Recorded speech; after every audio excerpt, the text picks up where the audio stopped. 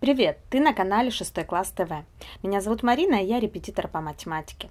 Сегодня мы с тобой решим задание под номером 225 из учебника «Математика 6 класс» Виленкин-Жохов.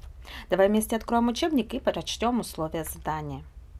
На координатном луче рисунок 11 отмечены числа А и 3. Кратно ли число А 3? Отметьте на луче два общих кратных чисел А и 3. Ну что ж, давай посмотрим на этот одиннадцатый рисунок. Что он из себя представляет? Это координатный луч, отмеченные отрезки, 3А. И теперь нам нужно э, ответить на вопрос, кратно ли число А 3.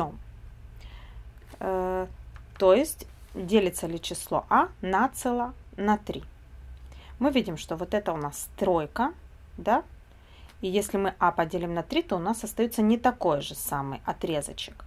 Ну, здесь явно мы видим, можем, конечно, это с помощью циркуля взять, взять, э, развернуть до троечки и померить сюда. Ну, ясно, что оно будет дальше выходить, да. Если взять по клеткам тетради, мы видим, что здесь три клеточки, здесь одна клеточка. Явно А на 3 не делится нацело, да. Хотя бы на, на два раза вот это было бы тройка но она у нас не 3, то есть А у нас как бы получается 4 клеточки.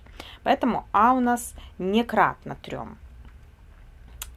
Так, теперь мы берем а, наше то, что мы взяли 3, и откладываем каждый раз по 3.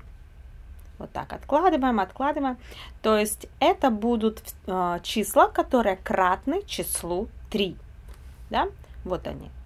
6, Снова 3 отложили 9, снова 3 12, снова 3 15, снова 3 18, 21 и 24. А, ну, посмотрим, достаточно этого или нет, для того, чтобы отметить два общих кратных, как нас просится в условии, чисел а и 3. Теперь отмечаем числа кратные а. А у нас 4 клетки. Так, поехали.